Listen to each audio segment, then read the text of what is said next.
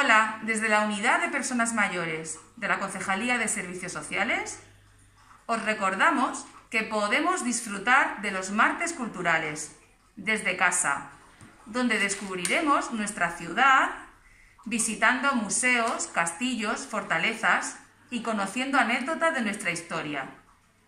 También podéis participar en el taller de lectura. Os esperamos a todos. Hola a todos. Desde la Unidad de Personas Mayores de la Concejalía de Servicios Sociales os queríamos recordar que dentro de las actividades que estamos realizando, los lunes los dedicamos a los talleres formativos. Son charlas de diferente temática, pero todas ellas están enfocadas a mejorar la calidad de vida de nuestros mayores, promocionando su autonomía y previniendo situaciones de vulnerabilidad de cara a su bienestar global. Un saludo y recordad, os esperamos.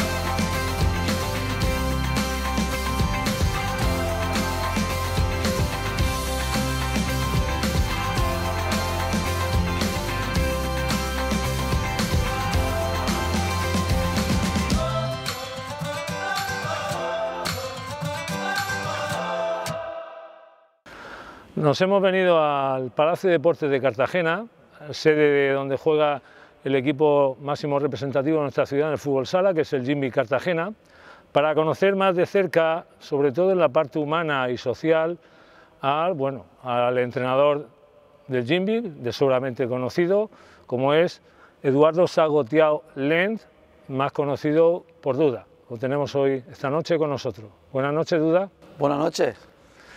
Bueno, te comento, aunque hemos estado hablando un poquito en la previa de, antes de entrar al programa, del formato mm, que tenemos, que es un formato en el cual participan sobre todo eh, nuestros mayores, ¿vale? nuestras personas mayores, el programa va dedicado a, a, ellos, que conozcan a un personaje de, sobre todo del ámbito del deporte y puede ser de otros ámbitos también, pero en este inicio de programa estamos trayendo a figuras del deporte de nuestra comarca, ciudad y región. Y bueno, como no podía ser de otra manera, pues el entrenador del Jimby tenía que pasar por aquí, por este programa. Y bueno, te agradecemos que estés aquí con nosotros. Y aunque ya es de sobra conocida tu trayectoria, Duda, pues sí nos gustaría que de cara a todos nuestros telespectadores y especialmente a nuestros mayores, pues un poco que nos contaras tu larga trayectoria un poquito más breve, pero que nos comentaras cómo fueron tus comienzos de niño en el fútbol sala hasta llegar a, esta ciudad que creo que de la cual me han dicho y ya hablaremos después, estás encantado.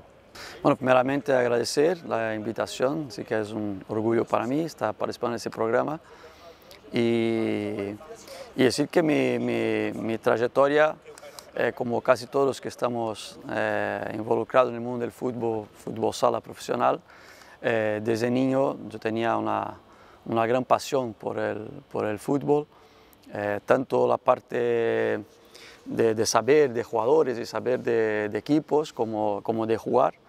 Y tuve la suerte que, que mi barrio, la, la, la, comunidad de vecinos, que puedo decir de barrio, que eran casas bajas, pero la comunidad de vecinos ha construido, se ha construido una pista de fútbol sala, pero enfrente, enfrente es enfrente de mi casa. Y yo, claro, pasé toda mi infancia, adolescencia ahí en esta casa y, jugaba. Los viernes entraba después de comer y salía el, domingo por la noche, ¿no? de jugar pachangas continuamente ahí en el... ¿Has dicho enfrente? ¿Enfrente que son 15, 20, 30 metros? Sí, sí, la calle, mi puerta daba para la, eh, mi puerta daba para la pista de fútbol sala, o sea, era la calle, la misma calle. Es, que, es decir, que tus padres sabían dónde estaba. No, fue, fue, casualidad que, hombre, compró el terreno en la zona que se, había, que se iba a construir una zona común, que era jardín, había el jardín, había la cantina del barrio, había, eh, y la pista de fútbol sala. Y yo con, con 12, 13 años, en el otro terreno que había más hacia la izquierda, eh, que era, mm, era muy, muy árido, muy terreno con, con, árboles y tal, nosotros construimos, y ahí sí que lo puedo decir que fue idea mía, iniciativa mía, hemos construido un campo de fútbol 7, grande, ahí, con tallamos la madera, hicimos las porterías, eh, todo, limpiamos el terreno y ese campo hoy en el Google, se puede ver en el Google Maps hoy, es un campo de cesta artificial con, con con alambrada ¿no? alrededor, con luz, con todo. Y ese campo lo he construido, he empezado yo, la iniciativa. ¿Y, con la, han puesto con nombre? La, con la, ¿cómo se llama? Eso de... La, Sí, la, la- asa, ¿no? la- Aza sí, la azada. Azada, eso. Digo que si lleva tu nombre el campo, No, no, que va. Eso, debería- debería Nos fuimos de ahí del barrio, mi madre y mi padre se, hace muchos años se, se han separado y se, y se vendió la casa y, al final no, no, no, no voy mucho más por ahí. ¿no?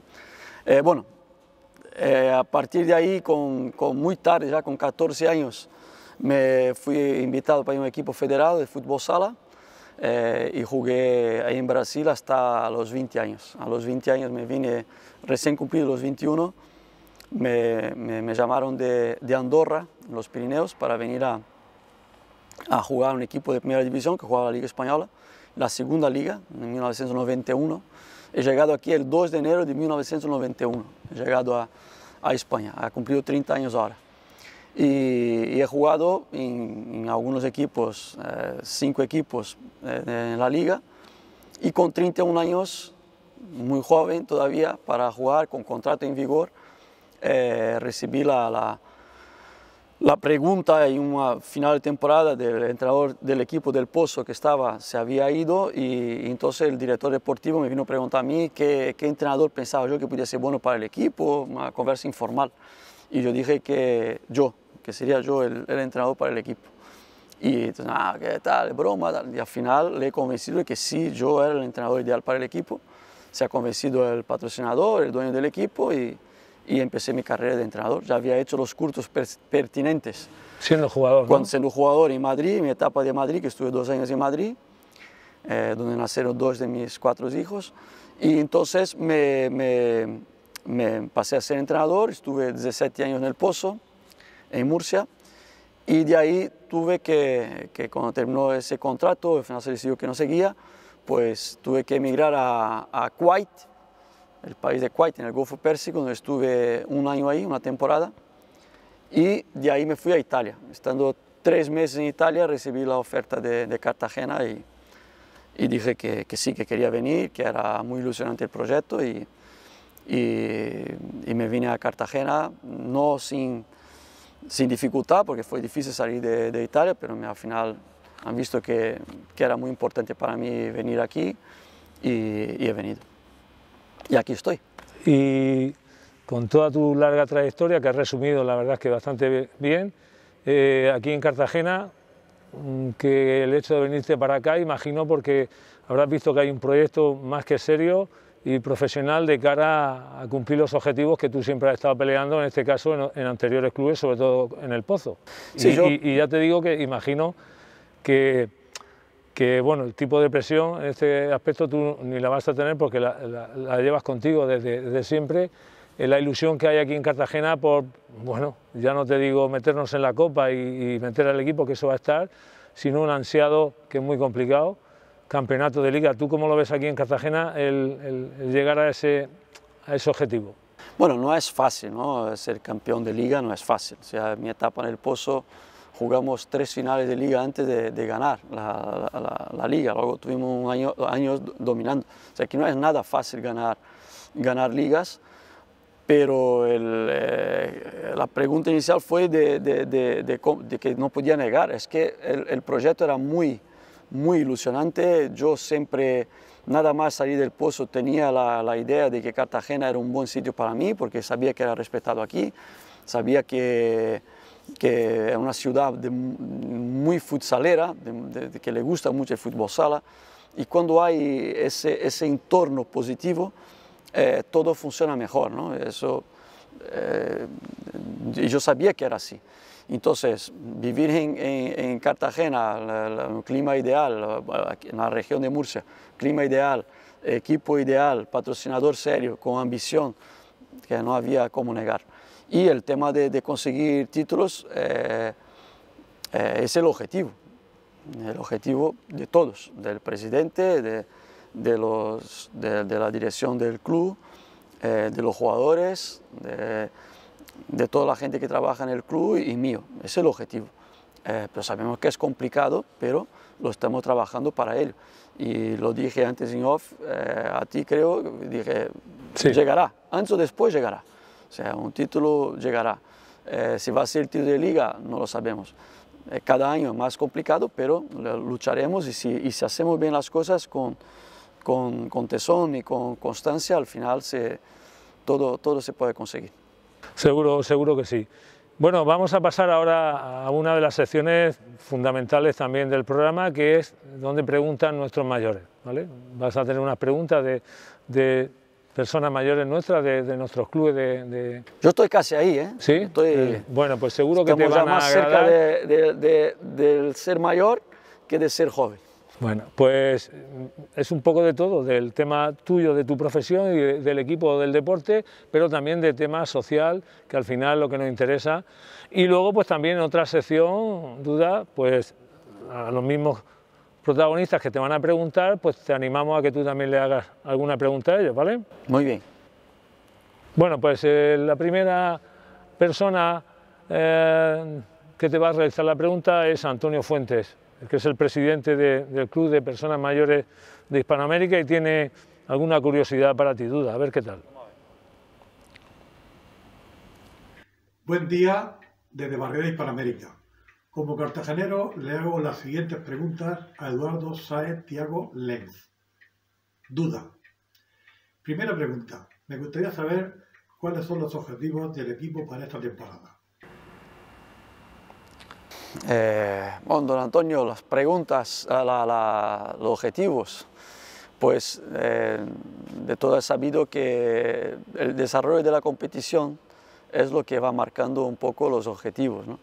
Nosotros queríamos estar eh, como objetivo mínimo aceptable, es estar en playoff, estar en la Copa, estar disputando títulos, tener opciones de títulos, estar entre los cuatro primeros nos darían mm, más eh, una respuesta más positiva de nuestro trabajo, eh, pero estamos ahora mismo en una situación eh, en que estamos viendo que somos capaces de, de, de, ganar a los grandes, de que somos capaces de, dar ese poquito más en esta primera temporada de, un poco de transición, ¿no? de, dar un salto mayor de calidad a la plantilla, al, al, al staff, al, a todo el entorno del club.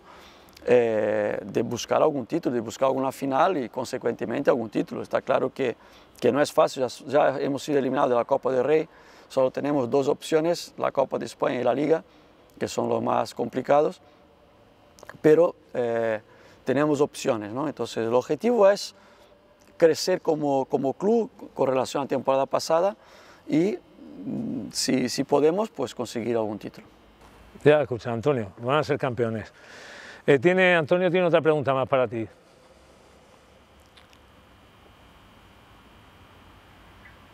Segunda pregunta. ¿Cuáles son tus aficiones favoritas para ocupar tu tiempo libre? Muchas gracias. Bueno, mm, contra mi, mi, mi ideal, últimamente eh, ocupo demasiado el tiempo con series de tele de, antes de dormir, ¿no? sobre todo por la noche. ¿Por qué dices contra tu idea? Porque creo que perdemos mucho tiempo con la, con la televisión, pero realmente llega un poco cansado por ir en casa y después de cenar el bajón ese que es difícil tener actividad.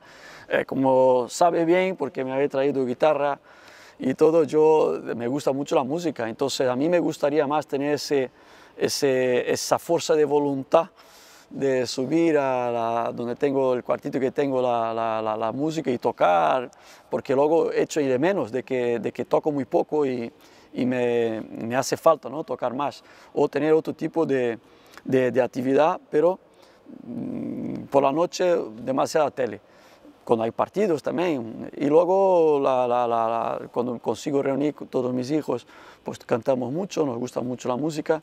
Eh, me gusta intentar estar en forma, entonces cubo mucho mi tiempo libre con hacer un deporte, los fines de semana también. Eh, y luego todo lo que es eh, el considerado tiempo libre, pero que, que, no es bien tiempo libre, que es un poco obligatorio, el, el, el, el, cuidar. Tengo un hijo pequeño de 7 años, traerlo para acá, llevarlo para allá y estar con él, ¿no? ayudar en, en tareas, jugar. Bueno, y, ahora- luego, y ahora- luego el estar con los, con los mayores que siempre también demandan situaciones, que tengo otros tres hijos mayores, que hay situaciones en que eso ocupa mucho tiempo. Tener hijos te ocupa mucho tiempo. Bueno, ahora no sé bueno, lo que afectará o no, porque todo afecta a esta situación de la pandemia, que, que en, teoría, en teoría no, en la práctica tenemos que estar más tiempo en casa y ser más responsables, más allá, lógicamente, de la profesión que tiene cada uno, como puede ser la vuestra, que al final, salvo algún parón que habéis tenido, seguís con vuestra actividad normal ¿no? de fútbol sala, con lo, con lo cual el, el tiempo que podéis tener sigue siendo más o menos el mismo, me refiero al tiempo libre, el- el- porque no habéis dejado de tener actividad deportiva, salvo no. Momento puntual, ¿no? Sí, ha habido la época de la pandemia, claro, ese, ese periodo de, de marzo, de marzo a abril Sí. del año pasado, sí que estuvimos mucho más en casa y, y se aprovechó para hacer muchas cosas en casa, incluso reordenar armarios, reordenar eh, trasteros, ese tipo de cosas, creo que todo el mundo la, la ha utilizado. Bueno, vamos a seguir en este caso con la presidenta de- del Club de Personas Mayores del barrio la Concepción, que es Ascensión Costa Nicolás y que también tiene alguna pregunta para ti. Duda, para ti, ¿cuál debe ser la cualidad más valiosa de unos padres? Oh, buena pregunta. Yo, eso sí que es una- una- un tema que he discutido muchas veces. Yo creo que lo más importante son los valores que transmiten un- unos padres a unos hijos. Eh, sobre todo cuando hay casos de hijos más conflictivos, momentos de la vida en que son más conflictivos, si de verdad consigues inculcar los valores, meter, meter, meter ahí lo- lo- los valores, eh, hay un momento en que, en que esa persona, eso está dentro y que cuando lo consigue eh, enxergar consigue ver que eso realmente es, es, es lo más importante y, y siempre sale adelante. ¿no? Yo cono- conozco varios casos en ese sentido. Lo ideal es con ejemplo, eso es lo ideal, que los padres a través del ejemplo es la mejor manera de enseñar, pero no siempre conseguimos eh, ser perfectos y enseñar a los hijos con ejemplo todo lo que es lo correcto. Entonces yo tengo una frase que utilizo mucho a mis hijos de siempre, que es que hay que aprender no solo de tus errores, pero sí de los errores de los demás, que es, es muy importante, porque claro que cuando te equivocas y te sale mal, aprendes mejor, pero el más listo es el que consigue aprender de los errores de los demás. Y eso eh, es, también ah, va dentro de eso, ¿no? de los valores. Yo digo, eso que hice no está bien, Eh, pero tu padre hace muchas cosas que están bien para poder coger el Sí. ejemplo correcto. Y por lo menos con los tres mayores, muy satisfecho con la educación que han recibido de parte de, de- de su madre y la mía y, y- y creo que ellos tienen claro la diferencia del bien y del mal y tienen claro la diferencia del correcto y de lo equivocado. A partir de ahí ya es su libre arbitrio para decidir lo que tiene que hacer. Y si metemos los valores, es más fácil que opten por la, por la opción correcta. Pues en esa línea va un poco, creo, la, pregunta, la segunda pregunta también de Ascensión. ¿Qué valores consideras que has recogido de tus mayores? Ah, pues no, yo todos, todos lo, lo he- lo he recogido, no todo lo he puesto en práctica, pero todos. Pero algo en concreto que tú a lo Afortunadamente mejor no sé. mi- mis, mis padres me han pasado muy buenos valores de, de sacrificio, de, de- de esfuerzo, de el- el ejemplificar en su vida eh, eh, hacer la caridad o hacer eh, voluntariado. Siempre han sido, yo en mi, infancia eh, dedicaba mucho tiempo en el fin de semana a, a- eh, mi- padre era como directivo de una asociación eh, de ámbito religioso, pero que es que llevaba un, hogar de, ancianos y un orfanato. Entonces, al final había que sacar dinero para que eso funcionara, porque es privado, no era público. Y nosotros hacíamos muchas actividades de ese tipo, de, de comidas, eh, trabajaban, hacíamos banquetes, eh, eh, íbamos a vender la- la- el cupón para, para ser socio de esa asociación de Porta en Porta. O sea, todo eso mm, me ha inculcado mi padre, que de- de- de la importancia que es hacer el bien, la importancia que es eh, ser correcto, ser honrado, ser honesto. Está claro que, que en la vida muchas veces el- el- la competición o, o- Sí, o la- el- el- el mundo- a veces te deja llevar algunos días, pero yo considero, me considero una persona eh, que tengo todos los valores. Todos mis errores son mi culpa, una exclusivamente mía. Bueno, pues, Estoy sí, afortunado en ese sentido porque son mi culpa, no, no como otras personas que, que pueden estar en la cárcel o pueden estar eh, en una situación mala porque han, han recibido siempre malas influencias o malos consejos. ¿no? Entonces, yo lo mismo que yo intento pasar a mis hijos de los, de los valores, de, de- son los valores que he recibido y que soy muy, muy afortunado en ese sentido. Pues nos parece también muy, muy oportuno el que hayas comentado o que haya venido al hilo esta pregunta de, de ascensión. Bueno, y te- vamos a terminar con Andrés Zamora García, que es el presidente de- del barrio de la Concepción, eh, del cual también tiene, quiere conocer algo más y tener alguna curiosidad y te pregunta también. ¿Cómo estáis viviendo tú y la familia esta situación de la pandemia? Bueno, eh, también en ese sentido considero privilegiado porque no he perdido mi trabajo. Eh, hemos pasado por el COVID casi todos, de los seis menos uno, eh, y no sin, sin síntomas importantes. Y, hemos podido, la verdad, compartir mucho tiempo juntos, ¿no? sobre todo en la época, los tres hijos mayores no viven conmigo, pero hubo un momento en que, en que se metieron en mi casa y quedamos ahí 15 días, encerrados los seis. Y eso, mi, mi actual esposa, mi hijo pequeño y los tres mayores. Para el pequeño eso fue maravilloso, porque he estado con sus hermanos mucho tiempo que le encanta. Y, Y a lo mejor no sería tan maravilloso para el resto. Me refiero a partir del, del octavo día o del... Claro, de- después cuando... No, no, no, no, no, sí, sí, lo ¿Sí? hemos pasado bien, lo hemos pasado muy bien. Eh, de hecho, mi hija ha hecho, la mayor ha hecho un vídeo de eso, de, la, de- de todo el tiempo que estamos y es muy emotivo, la verdad que es muy bonito porque, porque hemos, estado, hemos estado muy bien. Y luego, claro, la preocupación por, por todo lo que es el, el futuro, eh, el momento, la gente que está pasando mal, eh, que hay mucha preocupación. En Brasil también está la cosa bastante fea. Entonces, en ese sentido, de, de- de- profesionalmente, qué es lo que pasa con la liga, todo eso, eh, claro que te afecta, claro que, que influye, ves mucha más tristeza en la calle, esos momentos de, de recogida. Ahora, ahora, ahora todo en casa, ahora podemos salir, ahora cerrar restaurantes, ahora abren restaurantes. Sí. Todo eso, eh, claro que, que- que no es una vida la que teníamos antes y que de alguna manera no valorábamos tanto, ¿no? lo que era la normalidad. Sí, y teníamos sí. muchos problemas y teníamos muchos agobios y muchas, muchos problemas. Y, y ahora No, ahora nos hemos dado cuenta... parece que es como la, la- la historia esa de cuando tienes una, una- un golpe fuerte y recibes, sea, si, si tienes un golpe pequeño y que te molesta, molesta, pero si recibes uno más fuerte, el pequeño se te ha Se te olvidado. olvida. ¿no? Y ahora eh, nos hemos dado cuenta realmente un el, poco el por ahí. problema donde estamos. Pues creo que nos queda algo de ahí de Andrés. Vamos a escucharlo.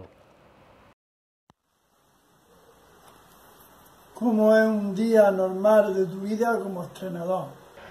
No, ole.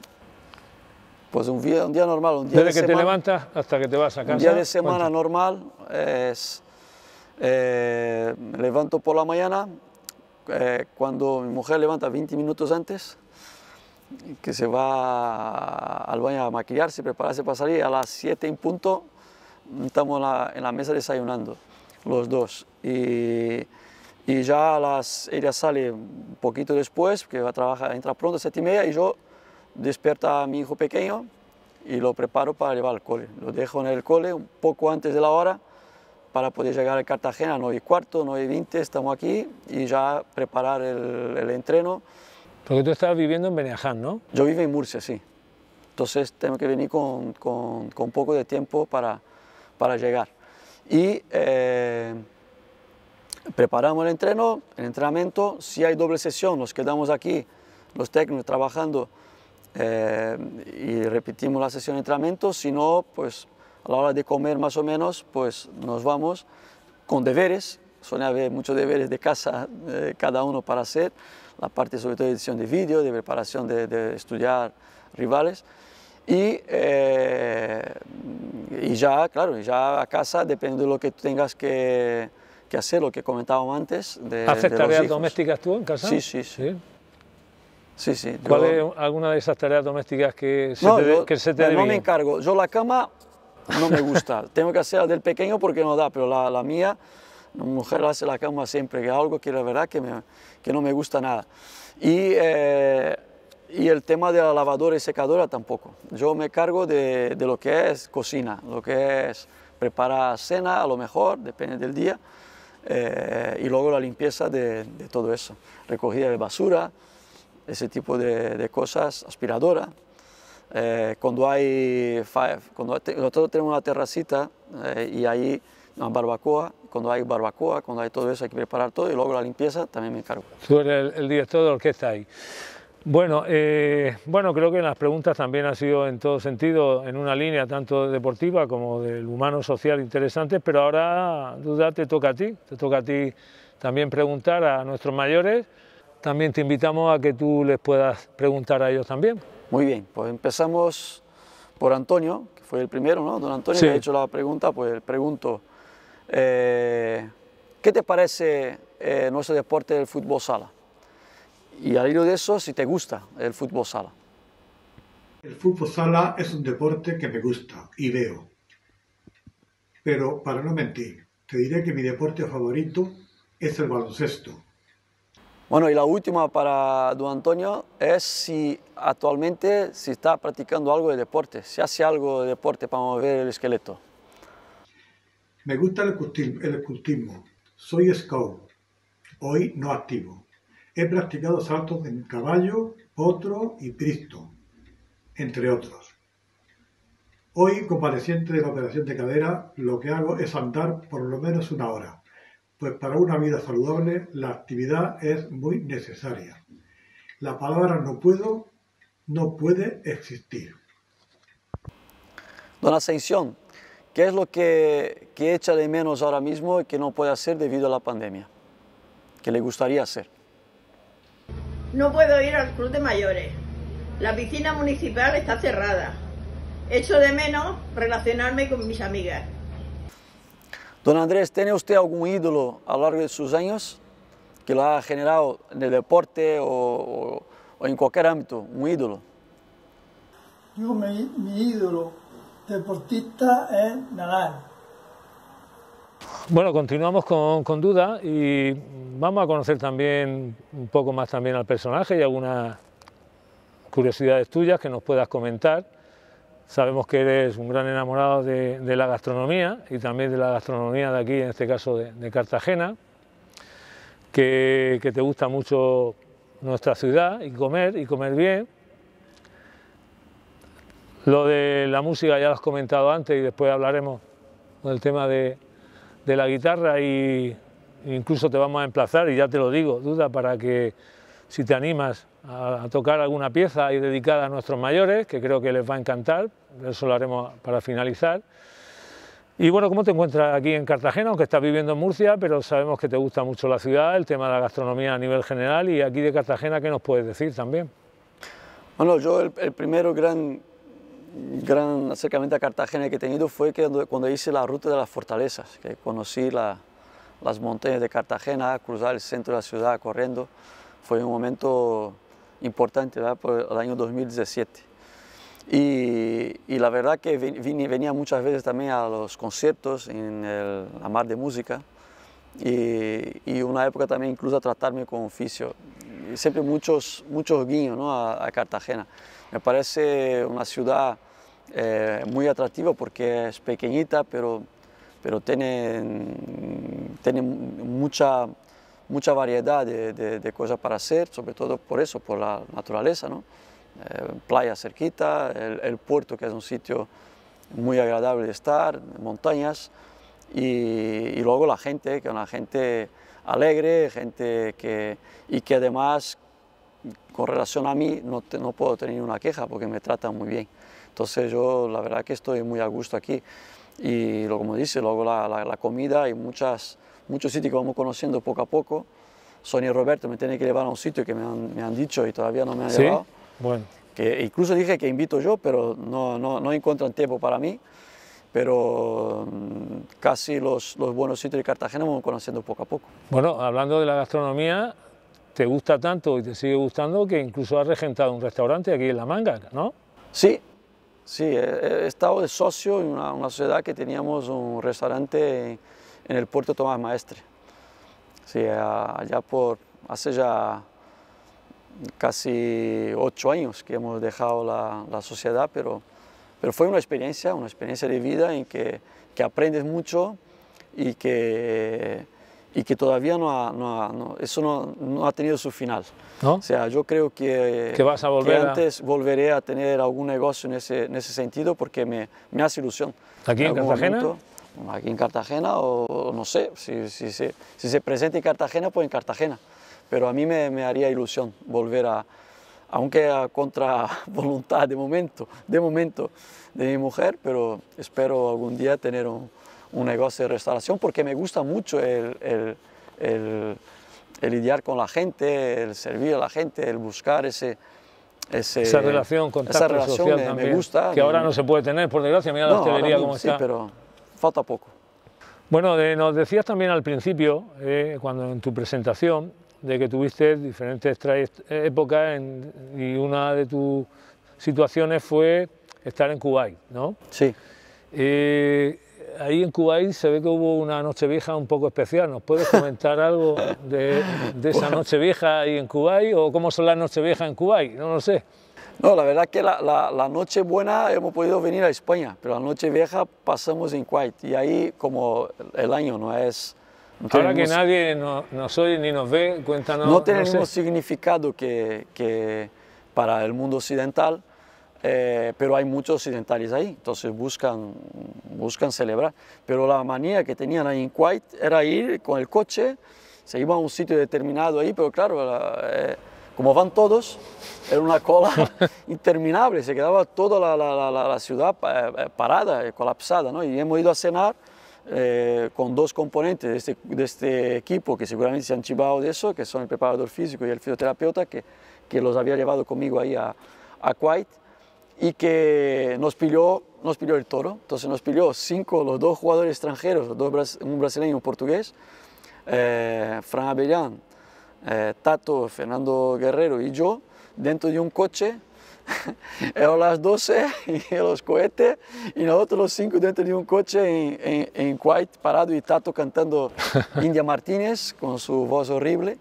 Ahí nosotros, eh, ahí dentro, pero nos reímos bastante en ese día, hemos pasado muy bien y es un, un recuerdo agradable. No, pues lo importante es lo que acabas de decir tú, del recuerdo agradable. Sí, sí, fue, un, atípica fue... y tal, pero bueno, que, que, agra agradable. Eh, Pero no te creas que era un coche grande, ¿eh? era un, un, Iba a ir los cinco ahí. Un coche pequeño, un Auris, un Auris o un Yaris, una cosa, un Toyota pequeño que tenía yo alquilado ahí, que, que íbamos los cinco metidos. ¿sí? Bueno, pues en relación también con, con, una de tus grandes aficiones, que como hemos dicho ahora para finalizar el programa, espero que le dediques, seguro que sí, una, una canción a nuestros mayores, especialmente a nuestros mayores, aunque a todos los telespectadores. Eh, si tuvieras que hacer un, no sé, una banda original sonora de, de, tu vida deportiva, de tu trayectoria, ¿elegirías alguna banda sonora o algún himno, música o canción? Es muy difícil. Yo, yo eh, me gusta mucho la música en diversos, diversos estilos, me gusta mucho la música brasileña, mucho, mucha canción española cada vez más, eh, las anglosajonas también. Pero es, es, complicado. Yo creo que hay dos, dos músicos que me, han, que me han acompañado mucho, principales, que son el que me hizo que empezara a tocar el piano, que empezara a interesarme por la música, que era Ivan Lins, un brasileño, y luego más adelante Fito Páez, que es un músico argentino, un cantante argentino que me, que me influye mucho, me, gusta mucho, me emociono mucho, me, vivo mucho su música eh, que son los dos principales. Yo creo que por ahí iría eh, la banda sonora, pero bueno, hay una diversidad inmensa de canciones. Bueno, antes de pasar ya a la parte, digamos, final de, del programa, espero que te hayas encontrado y te estés encontrando a gusto aquí, nosotros Bastante. muy bien contigo y seguro que nuestros telespectadores también. Eh, se nos había pasado una última pregunta que tenían también para ti, del Club de Personas Mayores, a ver qué, qué última pregunta tenemos para duda.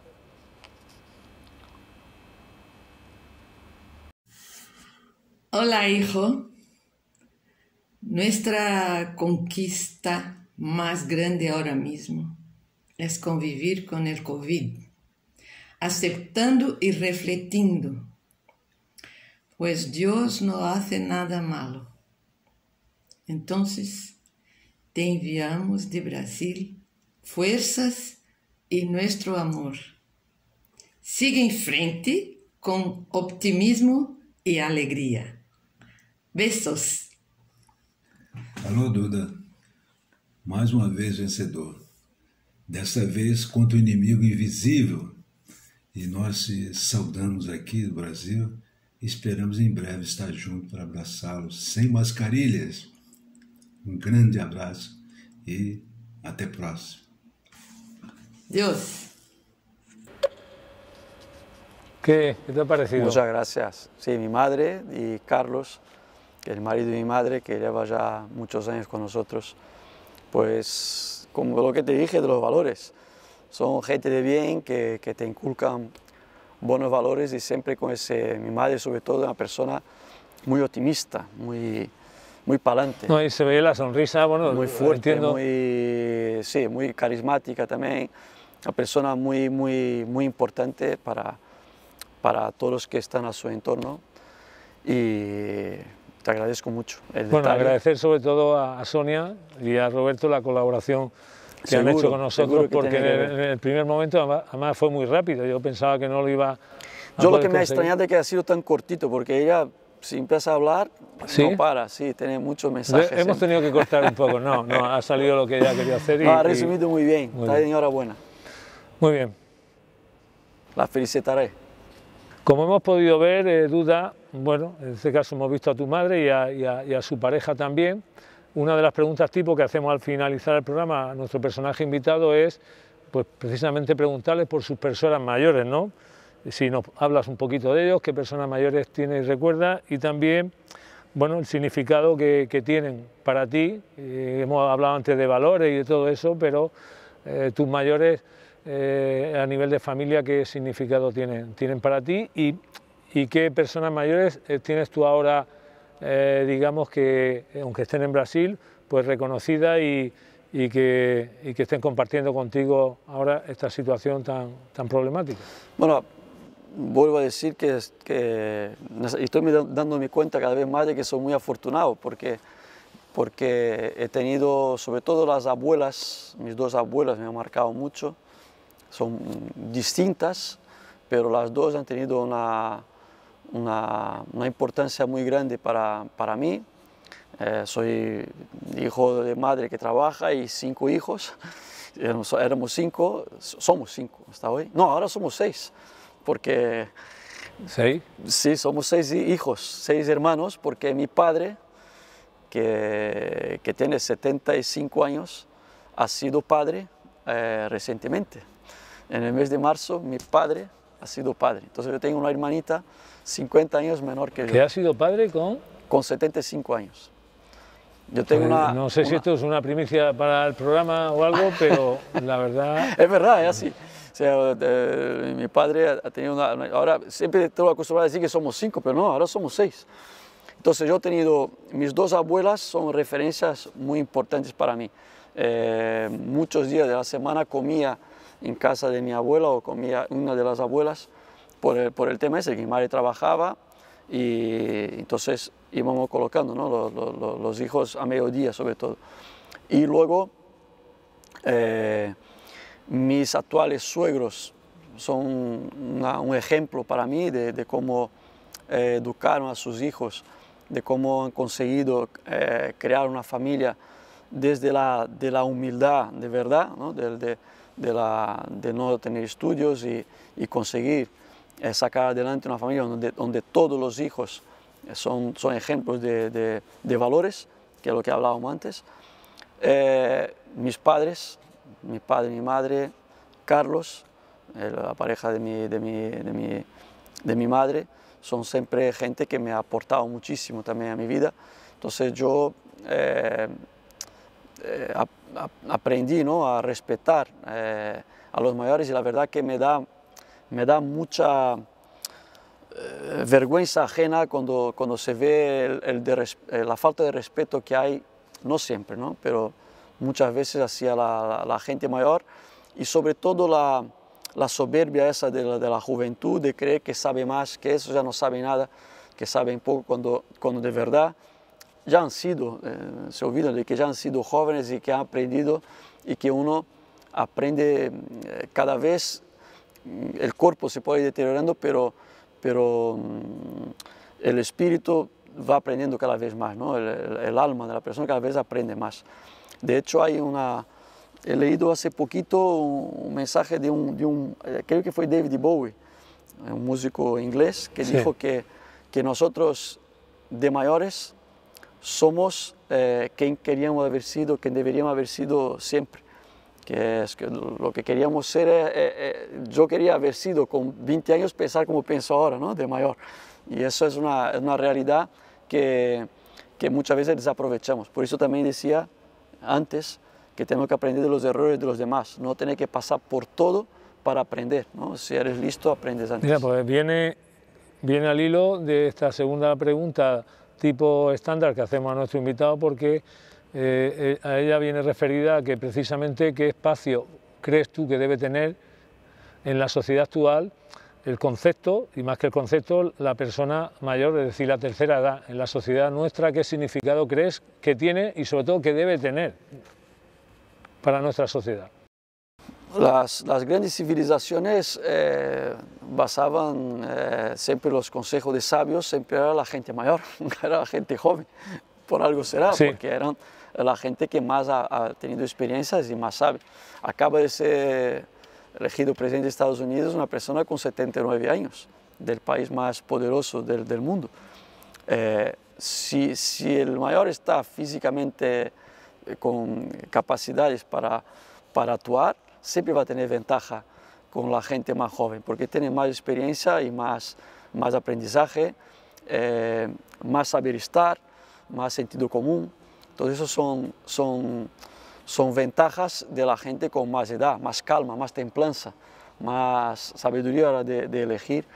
Eh, todo eso eh, marca mucha diferencia. Entonces, nosotros tenemos un ejemplo, y aquí también hace un, algún guiño a, a, a, a, uno de los entrenadores de nuestra liga, que, tiene, que ha cumplido 70 años y está ahí haciendo milagros con su equipo de Uma Antequera de, de Málaga, que, que, que, está en la, eh, en la, la, primera división. Y a veces pensamos, pues 70 años, ¿cómo puede ser entrenador de, de un equipo de fútbol sala? Parece tan lejano, ¿no? 70 para 20, los jugadores tienen 20 y tanto. Pero mira, el hombre está ahí y uno puede ser joven por dentro y, y tener la, la sabiduría y, y las experiencias vividas con, con, más edad. Es una ventaja.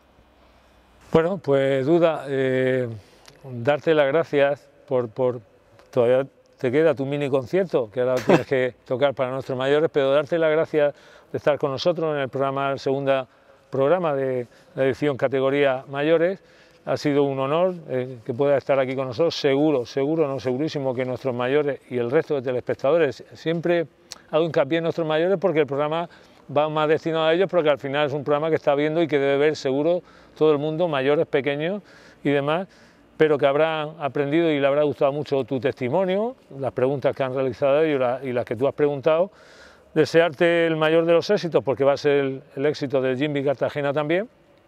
Y bueno, prepárate a ver qué te hace falta. La guitarra te no, has traído. Le, le espero a veces. Eh, me enrollo demasiado para una misma cuestión bueno, no espero sé, que no sé sido claro. Si, vale, si nos cortarán parte del programa, que entiendo que no.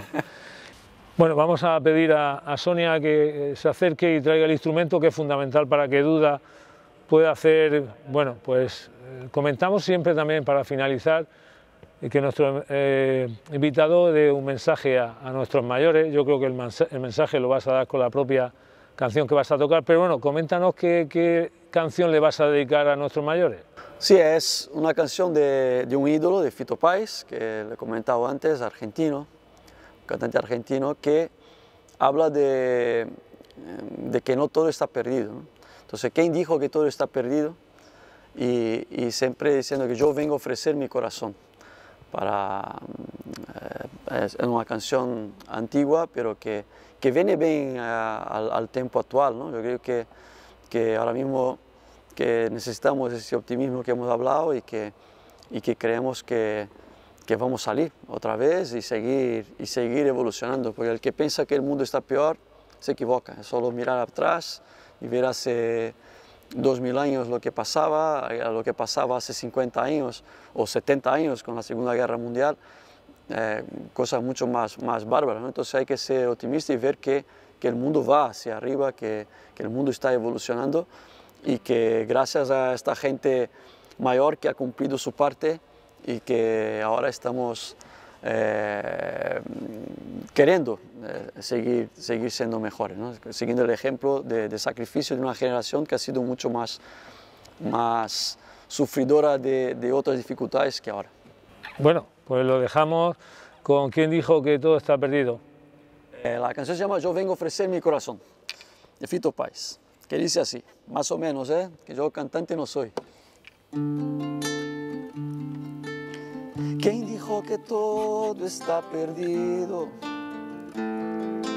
Yo vengo a ofrecer mi corazón. Tanta sangre que se llevó el río. Yo vengo a ofrecer mi corazón. No será tan fácil, ya sé qué pasa abrir el pecho y sacar el alma. No será tan simple como pensaba. Una cuchillada de amor, una de los pobres siempre abierta. Yo vengo a ofrecer mi corazón como un documento inalterable. Yo vengo a ofrecer mi corazón y uniré las puntas de un mismo lazo. Y miré tranquilo, miré despacio y te daré todo y te darás algo algo que me alivie un poco más. Cuando no haya nadie cerca lejos, yo vengo a ofrecer mi corazón. Cuando los satélites no alcancen, yo vengo a ofrecer mi corazón. Y hablo de países y de esperanza. Hablo por la vida, hablo por la nada. Hablo por cambiar esta nuestra casa. De cambiarla por cambiarlo más. ¿Quién dijo que todo está perdido? Yo vengo a ofrecer mi corazón. Muchas gracias.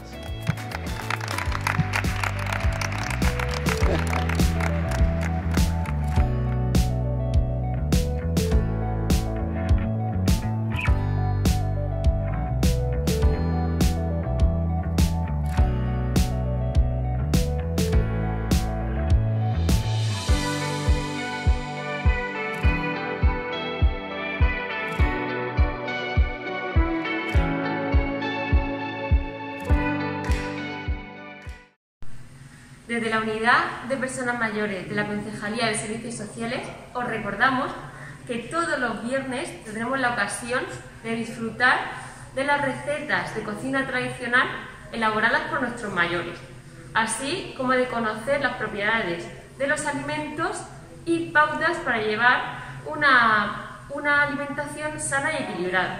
Os esperamos en los viernes de sabor. Hola, soy Teresa y desde la Unidad de Personas Mayores de la Concejalía de Servicios Sociales queremos invitaros a todos a participar con nosotros en los Jueves Dinámicos.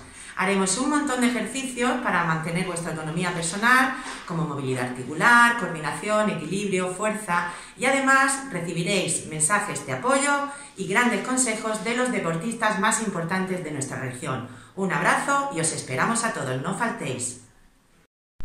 Hola, soy Rosa Desde la Unidad de Personas Mayores de la Concejalía de Servicios Sociales del Ayuntamiento de Cartagena, os invitamos a participar todos los miércoles en los talleres creativos, desde donde impartiremos todo tipo de actividades manuales, utilizando diversos materiales y técnicas. Os esperamos, animaos.